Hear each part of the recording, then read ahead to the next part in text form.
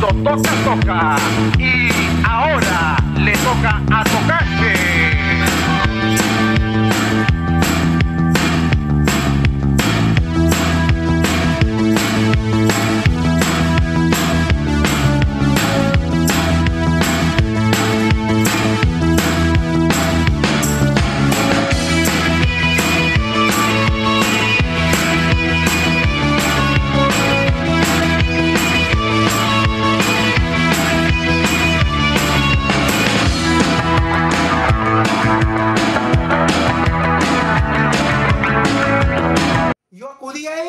A ella y ella chuponeó, pues ya, ¿cuál es el problema? ¿No? A ustedes eso no les incumbe, elíjame nomás, elíjame a mí, porque yo les voy a solucionar qué cosa, el transporte, la salud, porque él dice que esos temas no se atienden, ¿no?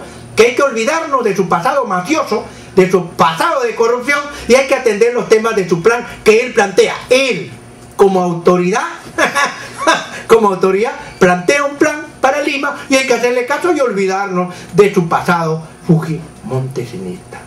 Entonces, termino con esto. Alex Curi maneja también el puerto del Callao. ¿Me equivoco? El narcotráfico necesita los puertos.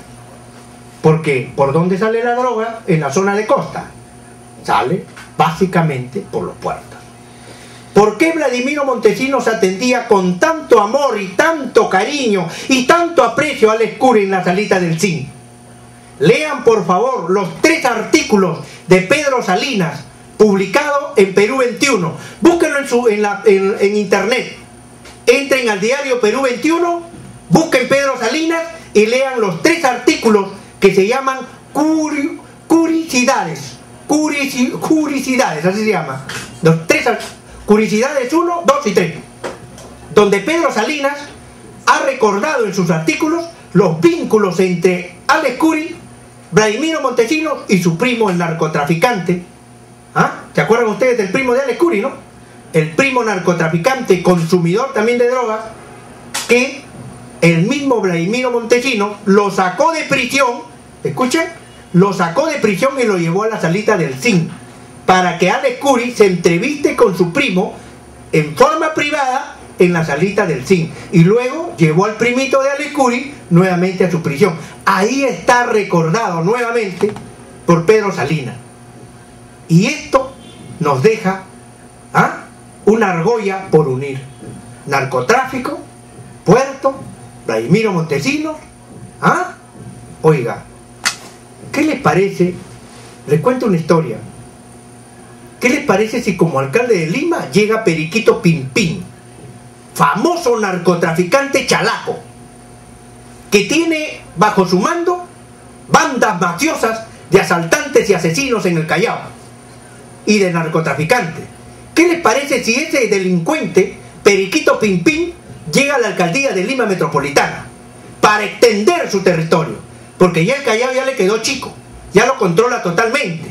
¿Y qué hace un mafioso normalmente cuando ya copa todo el mercado?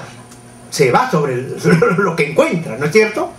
¿Qué les parece si Periquito Pimpín gana las elecciones y comienza a introducir las bandas chalacas en, en- en- en conexión con las bandas limeñas, las potencias, ¿no es cierto? Y también el narcotráfico a todo dar en Lima Metropolitana, empezando por los conos. ¿Qué les parece? Yo sinceramente, esa historia policial no la quiero ver escrita en Lima Metropolitana. Por eso digo yo que hay muchos candidatos que no son recomendables en nuestro país.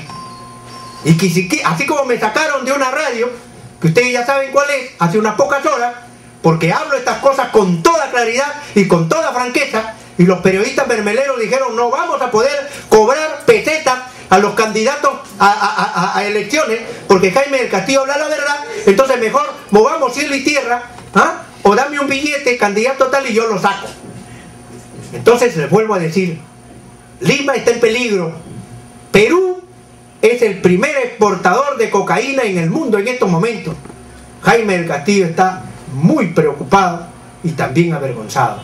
Estamos inermes ante unas autoridades que no hacen nada. Y la noticia dice que ya se va, ya se va el ministro del Interior Salazar, Octavio Salazar, ¿no?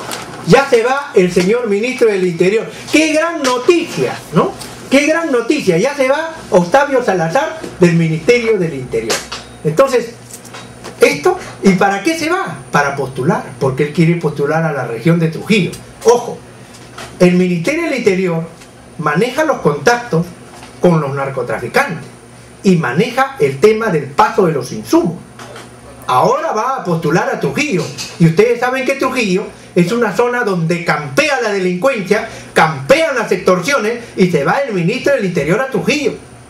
Ojo, mucho cuidado. Y se va con el aval del partido aprista peruano.